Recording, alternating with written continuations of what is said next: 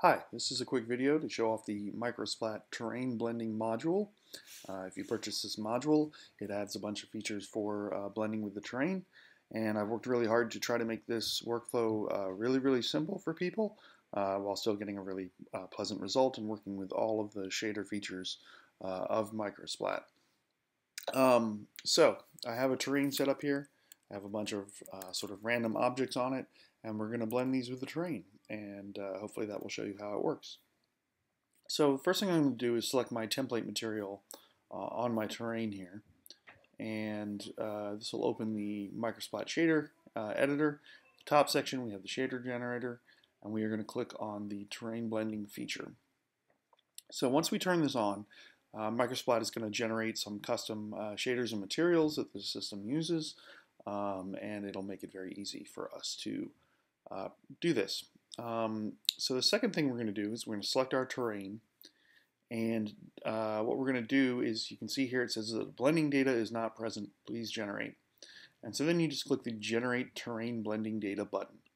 And what this does is it goes over the terrain and uh, creates a bunch of information, uh, which on this terrain takes about 2 megs of memory, uh, to help perform that uh, blend in real time. If you edit your terrain's height, you will have to uh, click the update button. And if you decide you don't want terrain uh, blending, you probably want to hit the clear button to uh, save that memory. So now that we're all set up, let's go ahead and blend some objects. So I'm going to select this object here. And what I'm going to do is I'm going to add the Microsplat uh, blendable object component to it. Uh, and that's basically all we have to do. Uh, we're going to turn up the distance a little bit. And so I've set a distance of 10. And so you can see here that it is now blending the uh, terrain here uh, right into this object. It's using the terrain shader. And we can see that the textures line up and even the lighting lines up for the most part. Uh, there is some very, very minor seams that you can see in some cases. I believe this comes from some of the uh, vertex-based stuff.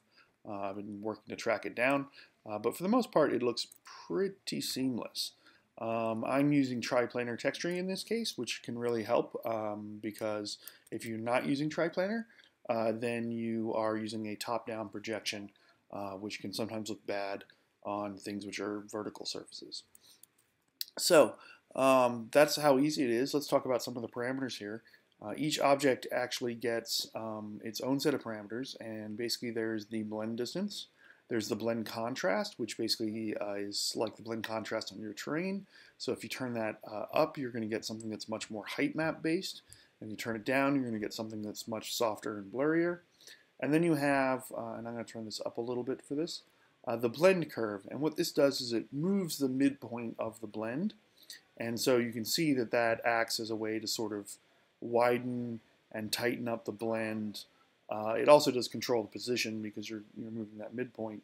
Uh, but when you have this contrast particularly high, it can help um, sort of contrast the areas of the height map as well. Um, so yeah, so those are the basic controls, um, and that's all you have to do.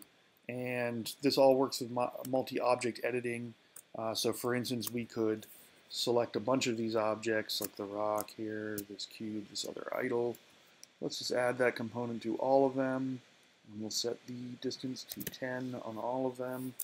And now what you can see is that they are all blending with the terrain. Um, and there's actually some really cool tricks you can do with this. So here I have this rock, um, and you can see now it's blending with the terrain there. Um, if I deselect it so we don't see the orange, you can see the blend looks pretty, pretty flawless. Um, but we can actually play with both the distance and the contrast on this. If I turn up the contrast quite a bit, that's going to uh, make it more of a height map blend, so it's a little, little tighter. And I can play with the curve and get this texture to kind of creep out over this object. And so here at size 15, you can see it's even creeping onto the top of this with the grass texture and stuff that's below it. And uh, playing with that curve, we can sort of control, you know, how much of that appears and where it appears. And you'll see that the uh, rocks appear before the grass um, because again we're using that height map data. And so you can get some really nice blends between your objects and your terrain uh, this way. And again uh, this just works. It doesn't require special shaders for your objects. Um, it does have a few restrictions which I'll talk about in a second.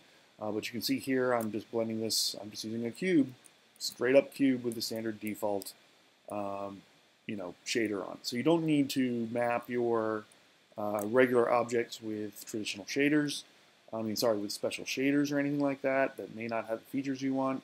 Um, you can use whatever shaders you want. Um, so there are a few restrictions um, that should be talked about.